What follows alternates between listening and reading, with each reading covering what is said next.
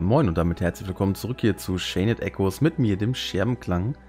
Da sind wir wieder hier gerade in dieser bedrückenden, regnerischen Stadt namens Tormund. Und wir haben erfahren, dass es Krieg geben soll. Prinz Frederik wünscht sich den Krieg auf dem Kontinent Valandes. Wünscht sich den Krieg hier mit Hilfe der Waffe des Grand Grimoire, der womit er hier ganze Städte ausradieren kann. Es sieht nicht so gut aus und auch äh, Prinzessin Lene ist vielleicht ein bisschen hilflos. Und wir sind hier gerade ganz allein mit Glenn unterwegs. Haben uns hier noch in der Stadt umgeguckt, haben noch eine sehr, sehr traurige Geschichte tatsächlich von unserem besten Kumpel von damals schon, Kilian, erfahren, was mit seiner Schwester geschehen ist. Und wir wollen jetzt hier erstmal Richtung Schloss gehen und mal schauen, ob und wie wir da weiterkommen, ob die Wachen uns überhaupt reinlassen. Was jetzt hier als nächstes passiert. Okay, hier sind Treppen nach oben und unten. Sehr viele Teiche und so, ne? Viele Staubecken. Obwohl, gut, gar, gar nicht äh, so eine schlechte Idee hier. Aber wir dürfen passieren. Wir sind dankbar, dass du ihre Hoheit zurückgebracht hast. Prinz Frederik war nicht mehr er selbst, nachdem sie verschwand. Und hier ist das Schloss. Das ist links und rechts gleich gebaut.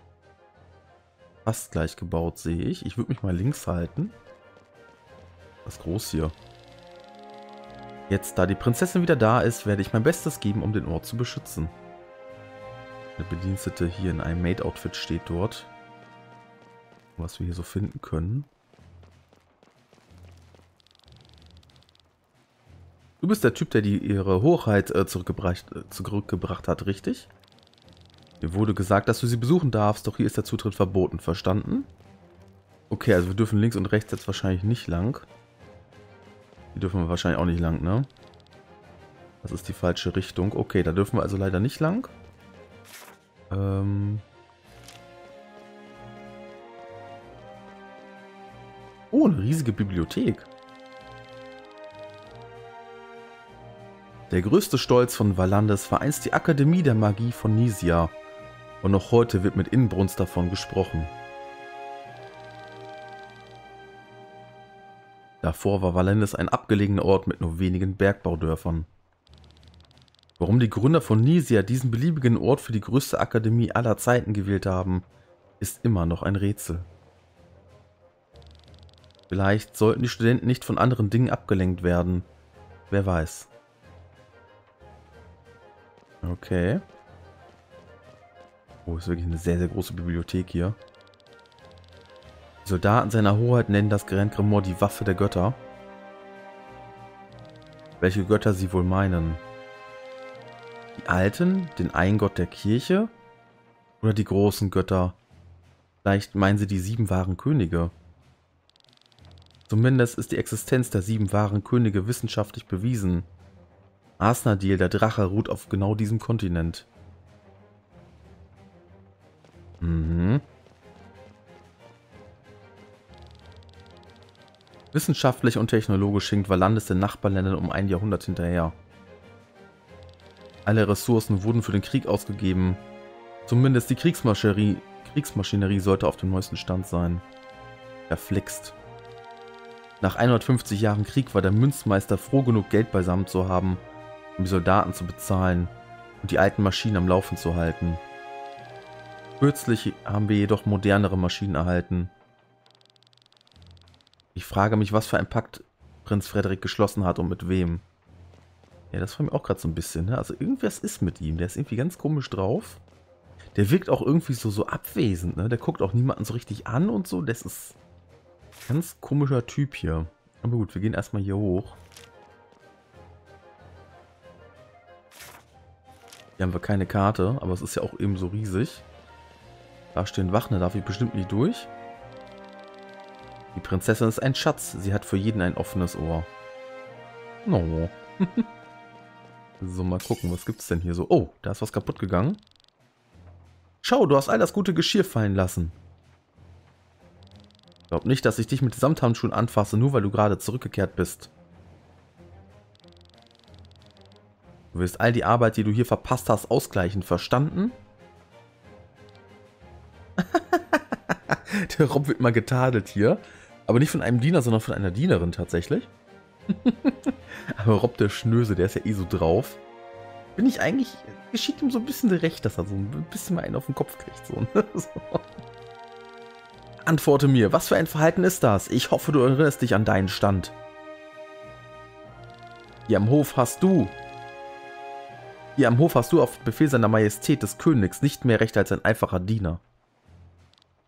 Ja, verzeiht. Moin Rob, was geht? was starrst du so? Verschwinde. Achte auf deine Zunge, er ist ein Gast der Prinzessin. Entschuldige dich. Entschuldigung. Okay. Rob kann mir ja fast leid tun, aber auch nur fast. Uh, schöner Tisch. Aber mehr ist ja auch nicht.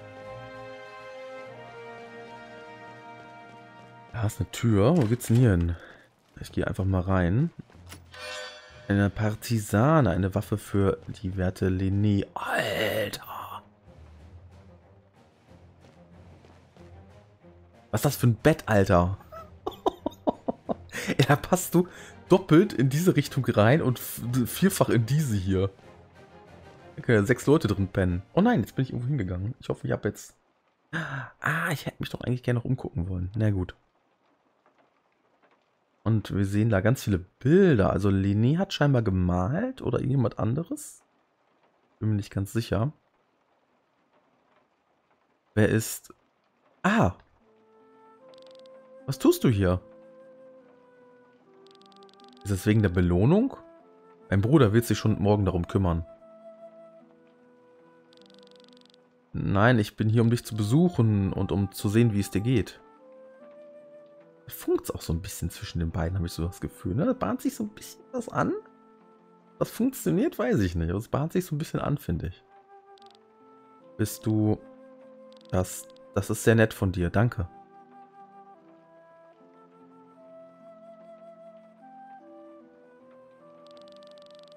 Hatte ja keine Ahnung, dass du dich so für Kunst interessierst. Dann auch noch so talentiert. Es ist nur ein sinnloser Zeitvertreib.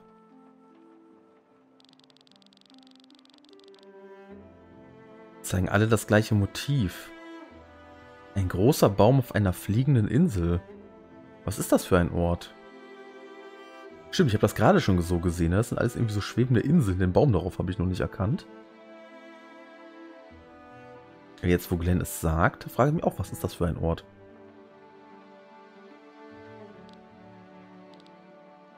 Ein Ort, zu dem ich gehen muss. zu dem du gehen musst? Es mag albern klingen, aber er verfolgt mich in meinen Träumen. Er erscheint vor meinem geistigen Auge und will, dass ich ihn besuche, aber ich weiß nicht, wo das ist.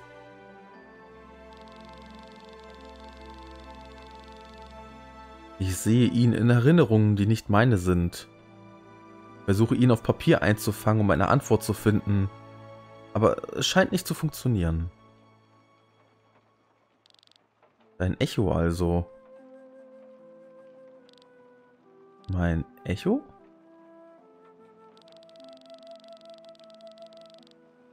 Erinnerst du dich, wie Dimebait uns erklärt hat, dass die Seele nach dem Tod den Körper verlässt und eins mit dem Malstrom wird?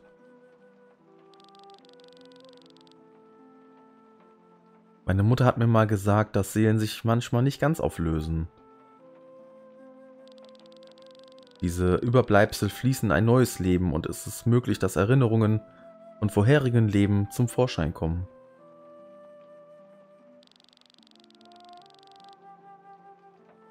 Du willst mir also sagen, dass dieser Ort auf meinem Gemälden ein Echo von einem vorherigen Leben ist?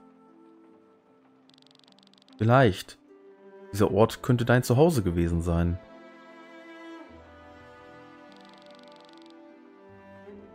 frage mich, ob mein Leben damals besser war. Ich sollte mich nicht beklagen. Menschen leiden überall und ich bin hier wohlbehütet vor allem. Und doch, doch bin ich nicht glücklich, das beschämt mich.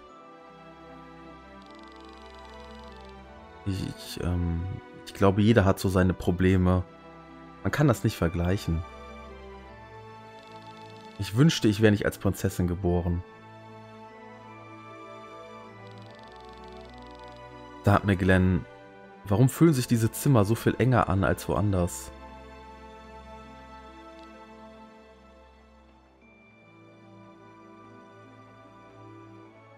Ein Riesenzimmer, ne? Wow. Oh nein, Prinz Frederik. Ihre Augen sind so kalt, wenn sie mit mir spricht. Doch mit ihm... Der Junge scheint der Prinzessin nahe zu stehen. Ihr seht nicht glücklich darüber aus.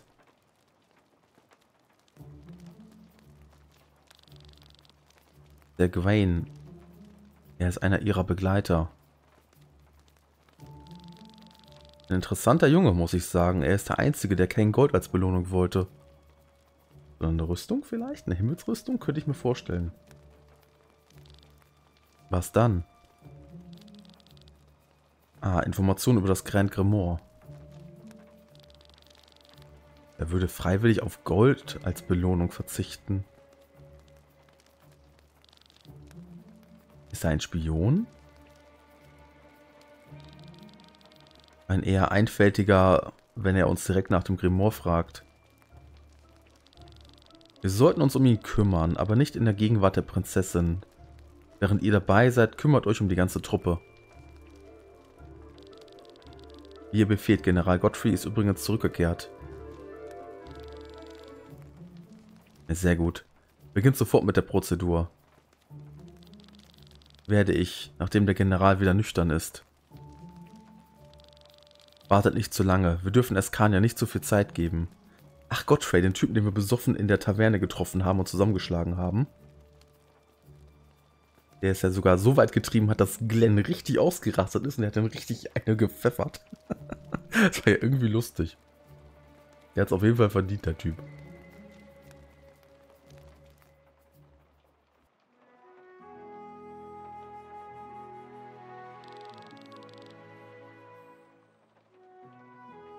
Kann auch ohne Kurven klarkommen. Die sind unnötig. Ach komm, es sind die tödlichsten Waffen aller Zeiten. Was für Waffen mit Kurven? Wovon reden die? Kommt darauf an, wo du sie nutzt. Wo, was hast du denn damit zu tun? Nun, dein Katana hat eine leichte Kurve in der Klinge und kann tiefe Wunden verursachen. Aber für Stoßangriffe ist es nicht zu gebrauchen. Okay, sie reden also von einem Katana. Ich dachte gerade schon, sie reden hier was Versautes. Würde mich bei den beiden aber auch nicht wundern.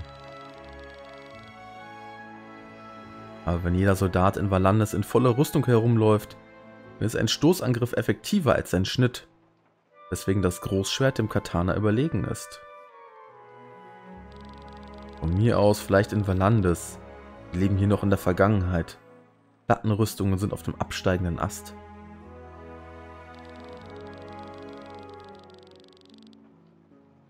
Einziger Grund, eine solche Rüstung zu tragen, wäre eine Himmelsrüstung. Und glaub mir, denen willst du nicht mit einem Großschwert entgegentreten.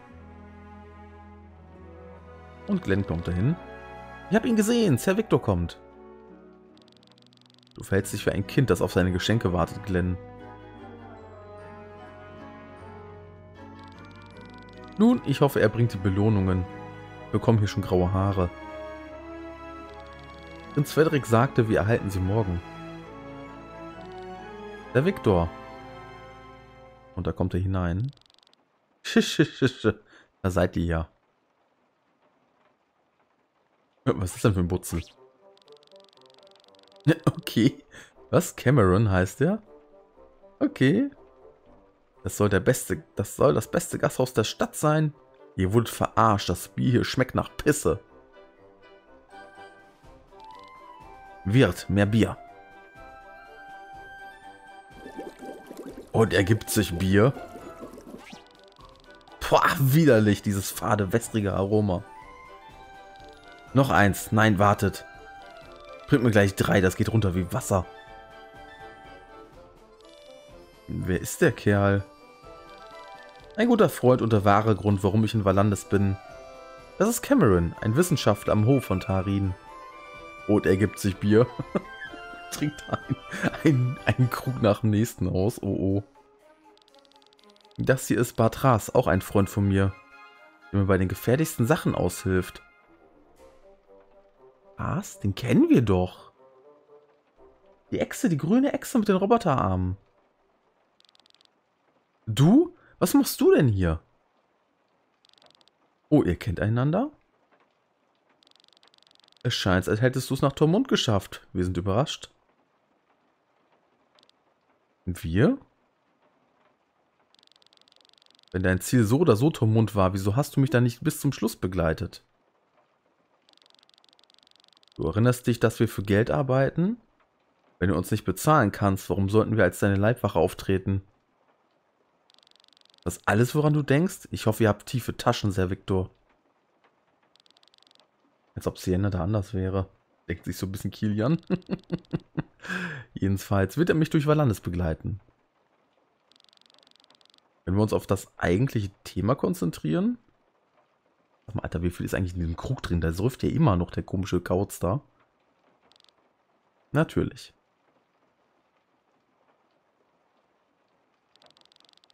Verzeiht, dass ich euch bisher noch nicht gesagt habe, aber der wahre Grund, weshalb ich in Valandes bin, ist das Grand Grimoire. Und ich sage euch das, weil wir eure Hilfe brauchen.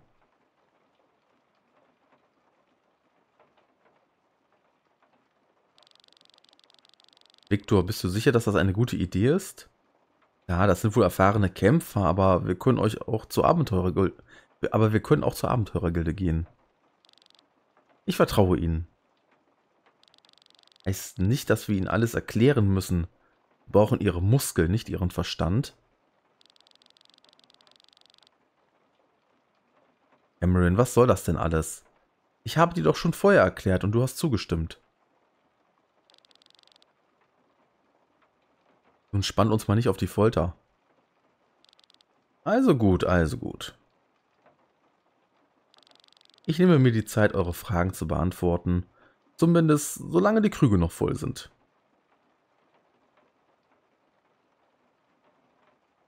Da ist eine Person am Fenster. Jemand beobachtet uns. Cameron ist der wahre... Was? Cameron ist für das Grand Grimoire verantwortlich und hat es über Jahre studiert. Dieses Ding hütet unzählige Geheimnisse und beinhaltet unfassbare zerstörerische Kraft. Ihr habt gesehen, wozu es in der Lage ist, weswegen Cameron und ich es zerstören wollen. Ihr wollt das Grimoire vernichten? Das Grand Grimoire ist eine Waffe der Götter. Kein Mensch sollte es jemals führen.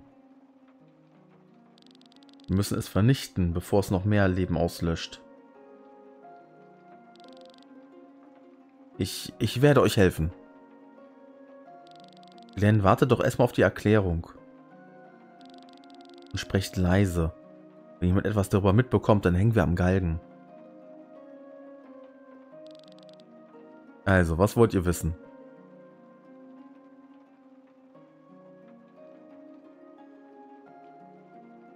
Mal fragen, was genau ist denn das? Eine mächtigere Version eines normalen Grimoires. Diese Edelsteine können Energie speichern und abgeben. Man kann sie in alten geologischen Schichten finden, normalerweise an Orten mit hohem Ätheraufkommen. Das größte Grimoire, das in der Natur gefunden wurde, hat die Größe eines Daumens, aber das Grand Grimoire hat die Größe einer Faust. Wir glauben nicht, dass es natürlich entstanden ist. Jemand hat es erschaffen? Das wissen wir nicht, aber ein ähnlicher Stein wird in der Geschichte aus der fünften Epoche erwähnt. Die Götter nutzten ihn als Waffe und haben ganze Regionen zerstört, um die Apokalypse einzuleiten. Also auch hier merkwürdige Götter, die wo irgendwelche Dinge zerstört haben. Okay. Glücklicherweise traten sie vom Plan zurück Weswegen wir Menschen auch in der siebten Epoche noch leben. Mhm.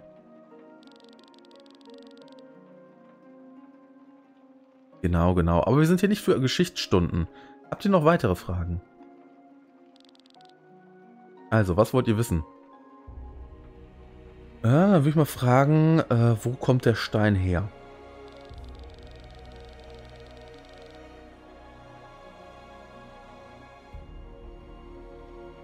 In alten Texten aus der fünften Epoche wird erwähnt, es sei eine Waffe der Götter, aber danach finden sich keine Aufzeichnungen darüber. Bis vor fünf Jahren lag der Stein in der Schatzkammer von Tarin. Dort wurde er als normaler Schmuck aufbewahrt, bis Gwaine sein Potenzial entdeckte. Gwaine? Er war auch im Thronsaal, der Mann mit den weißen Haar und den verschiedenfarbigen Augen. Wayne ist der Berater des Prinzen und ein Kollege von Cameron. Er ist zumindest ein alter Bekannter von mir. Wir haben beide in Lysia studiert. Also ist der Mann ein Aar. Unglücklicherweise teilt er Camerons Bedenken wegen der Macht des Steins nicht. Er versucht ihn für den Krieg so effizient wie möglich zu nutzen.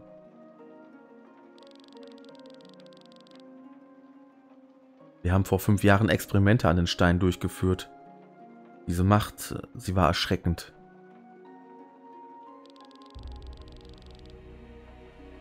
Ich sprach mich gegen diese Nutzung aus, aber der König und der Rat waren gegen mich.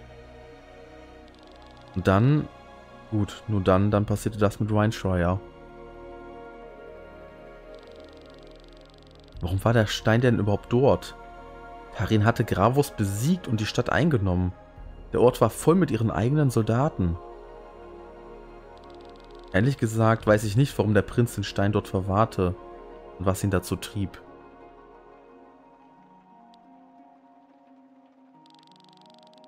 Jetzt ist der Stein zurück in Tormund und er wird in der nächsten Schlacht eingesetzt. Ist das sicher? Ja, die Vorbereitungen dafür laufen schon lange. Also, was wollt ihr wissen? Wie können wir es zerstören? Sehr, sehr wichtige Frage. Das ist das Problem. Wir wissen es nicht. Das Grand Grimoire nutzt man, indem man es zerschlägt. Es verursacht eine gigantische Explosion. Nur in einem Radius von drei Metern um den Stein herum passiert nichts, um den, der es benutzt, nicht zu schaden. Deswegen haben also Glenn und Kilian damals überlebt. Genau dasselbe denkt sich auch gerade Glenn. Danach setzt sich der Edelstein wieder selbst zusammen und kann erneut verwendet werden. Das heißt, man kann es nicht einfach so zerstören. Wenn es all eure Fragen waren, wie es der Zufall so will, habe ich vor einigen Wochen Fortschritte gemacht und Viktor nach Valandes gerufen. Das Königshaus führt eine Liste aller Geschenke, die dem König je zu verschiedenen Gelegenheiten gemacht wurden. Aber auch auf dieser Liste fand ich einen regenfarben... Nee, Moment. Auf dieser Liste fand ich auch ein regenbogenfarbiges Grimoire. Ein Mönch mit Namen Nalki... Nalkibla? Moment, was? Was ist das für ein Name? Ein Mönch mit Namen Nalkibla... Nalkilba. Nalkilba aus dem Kinreld-Kloster brachte es vor über 50 Jahren als Geschenk. Der Mönch lebt, lebt vermutlich nicht mehr, doch das Kloster steht noch. Und da kommt ihr ins Spiel. Ihr wollt dorthin und wollt, dass wir euch begleiten?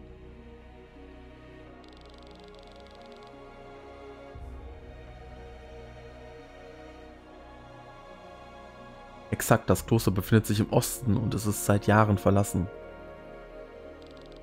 Jetzt leben dort Monster statt Mönche und wir brauchen ein paar erfahrene Abenteurer, um uns vor ihnen zu beschützen. Während ihr nach Informationen über das Grand Grimoire und Nalkilber sucht? Ja, Informationen, wo der Stein herkommt und wie er in den Besitz dieses Mönches kam. Vielleicht finden wir sogar einen Weg, wie man es zerstört. Wir, wir werden helfen. Ihr braucht uns nicht zu bezahlen. Hey, hey, hey, hey, hey, sprich für dich selbst. Der Stein ist nicht meine Angelegenheit. Ohne Belohnung krümme ich keinen Finger. Diese Beweggründe kommen uns bekannt vor. Sienna und Bartrasacke mögen sich hier, glaube ich, schon auf der Ebene auf jeden Fall. Aber wieso sagt ihr uns das? Wie gebt ihr euch nicht in Gefahr, wenn ihr mit solchen brisanten Informationen hausieren geht?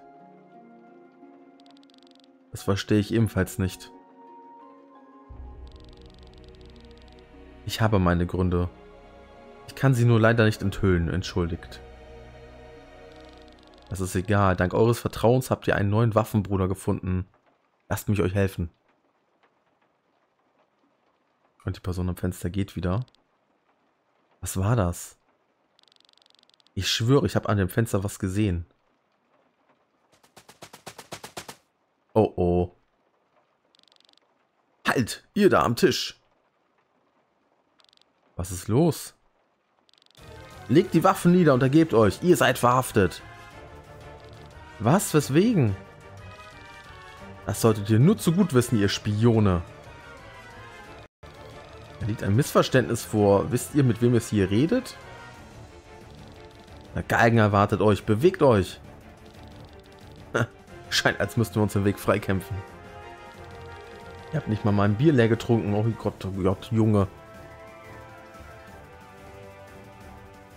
Und da stehen wir jetzt. Direkt vor den Gegnern. Und wir können hier neue Talente erlernen. Aber nicht festlegen, ne? Da haben wir nichts Neues. Ach doch, er hat hier noch neue. Er kann neue Sachen erlernen.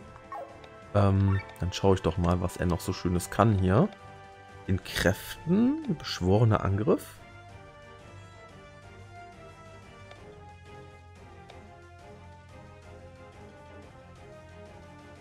Uh, das klingt ganz nett. Lichtschwert. Angriff erhöht.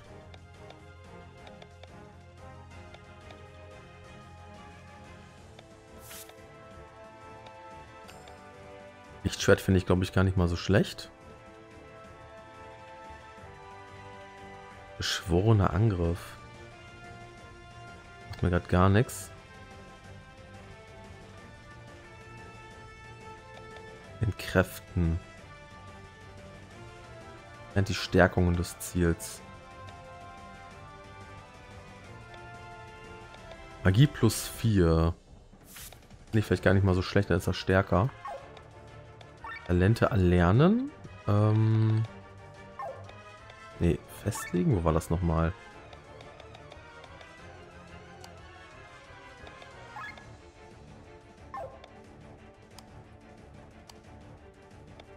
Der hat ja jetzt auch alles. Eisenschöpfung.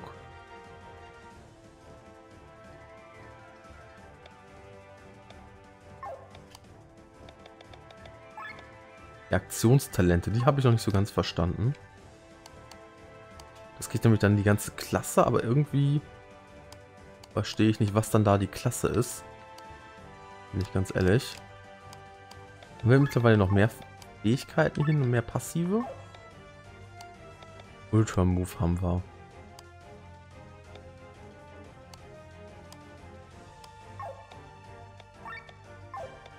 Talente festlegen. Ähm, können wir uns hier irgendwas gerade noch Gutes beibringen, was irgendwie dann gut ist? Mehr Schaden im schweren Stoß? Ah, könnte man, ne?